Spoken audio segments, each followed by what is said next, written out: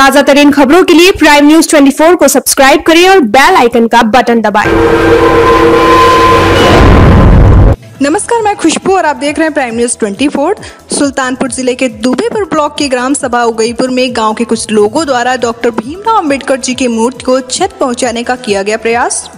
आज 19 जुलाई को लॉकडाउन के दौरान दलित बस्ती में लगभग 25 वर्ष पूर्व ग्राम प्रधान तथा ग्रामवासियों के सहयोग सहकारिता मंत्री आर के चौधरी जी के कर कमलों से स्थापित की गई भारत रत्न, डॉक्टर भीमराव अंबेडकर जी की मूर्ति को कुछ अराजक तत्व द्वारा छत पहुँचाने का किया गया प्रयास।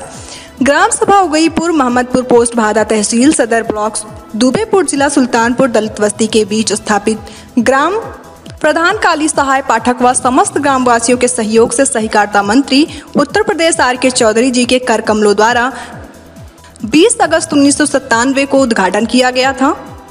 भारत रत्न डॉक्टर भीमराव अंबेडकर जी की प्रतिमा को उसी गाँव के लाल का पूर्वा निवासी नवीन श्रीवास्तव, कमलेश श्रीवास्तव, राजेश श्रीवास्तव, सोनू श्रीवास्तव, पप्पू श्रीवास्तव सत्य प्रकाश श्रीवास्तव, शशांक श्रीवास्तव, अभिषेक श्रीवास्तव, विनय श्रीवास्तव, ब्रजेश श्रीवास्तव व साथ में आए हुए और भी व्यक्ति अंबेडकर मूर्ति के पास लगे बाँस बल्ली उखाड़ने लगे और अंबेडकर की मूर्ति को क्षतिग्रस्त करने की कोशिश करने लगे और बोलने लगे, मैं अंबेडकर पार्क जुताई बुआई करूँगा, जिसमें गाँव के लोगों के द्वारा कोशिश करने के बावजूद भी